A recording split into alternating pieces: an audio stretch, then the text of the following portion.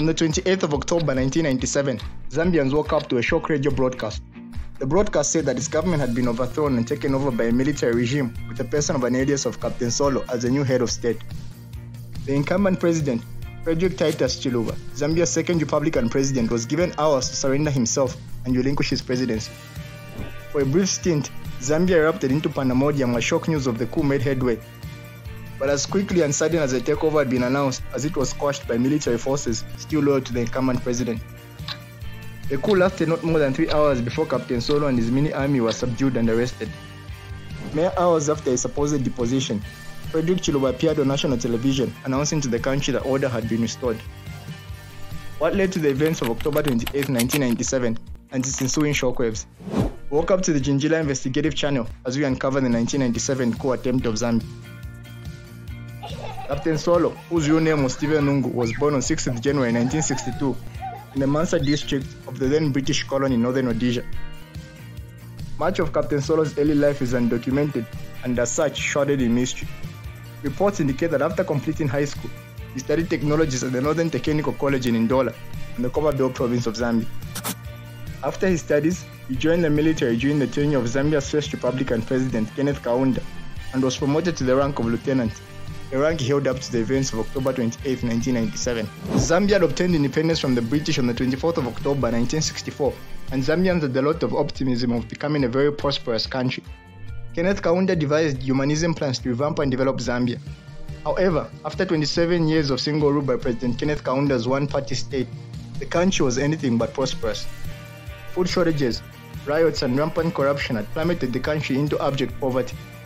This led to widespread outcry and eventually a change in government in 1991 with Chiluba sweeping the 1991 forced elections with a landslide victory. Much to many Zambians' dismay, Frederick Chiluba's government did not fare any better with its predecessor. Most of the country's assets were sold to foreign investors, and government officials were accused of plundering the returns for themselves. With the rise of inflation, food prices, and corruption allegations, Captain Solo and another captain by the name of Jack Chiti held clandestine meetings conspiring to overthrow the government of Chiluba. Both men lamented Zambia's impoverished state and lack of promotion in the army. Captain Jack Chiti in particular was tasked with mobilizing about 70 soldiers and a dozen armory vehicles to aid the takeover of Zambia. Records indicate that he only managed to recruit about 45 soldiers, with another 10 who were unaware of the coup plot. The small army acquired the name of the National Redemption Council. In the early hours of October 28, 1997, Captain Jack Chiti, who was also guard commander, ordered the hastily assembled men to arrest the army base commander who was the colonel. The men found that the colonel was not home and took half measures of locking the colonel's wife and children in a cell. Afterwards, the men took the colonel's Mercedes Benz and Windhoek lagers from the army bar and stormed an arms depot, stealing weapons to arm themselves in preparation for the takeover. After acquiring weapons, the soldiers made to a neighboring base and arrested several senior officers. At dawn, the militia stormed the Zambia National Broadcasting Corporation radio station to announce that they had taken over the country. In the short transmission, Captain Solo made mention of national institutions such as UBZ that had gone under during Chiluba's reign. In closing, Captain Solo instructed the radio host, Miss Evelyn Tembo, to play Bob Marley's Redemption song. Following the announcement on radio, the soldiers fired their rifles in celebration of their supposed takeover, a move which would later prove mature.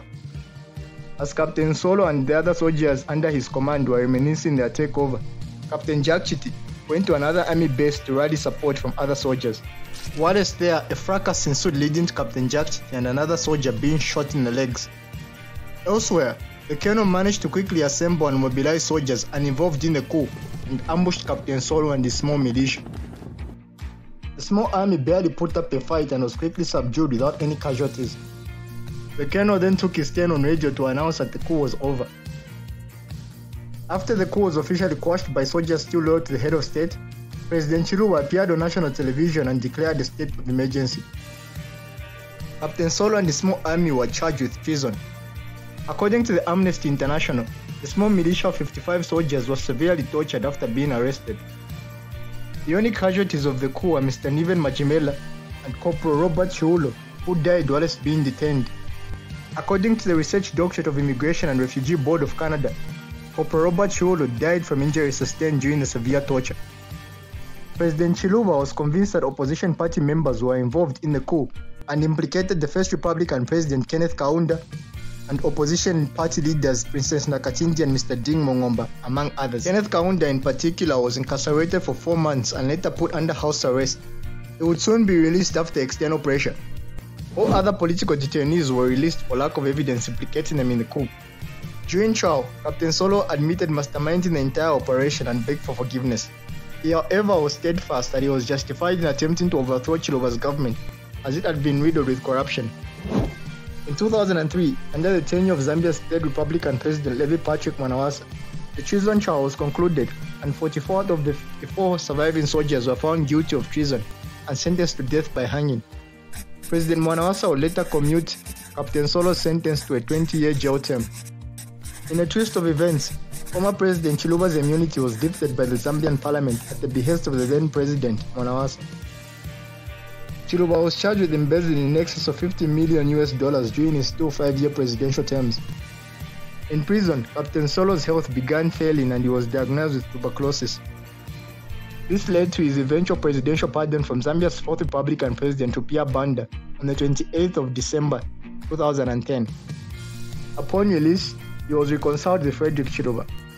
With stripped social security benefits, Captain Solo was released into a life of hardship and strife. Back in society as a civilian, Captain Solo dedicated his life to Christianity and changed his alias to Apostle Lungu. Captain Solo would eventually die of tuberculosis on the 11th of August 2012, aged 50.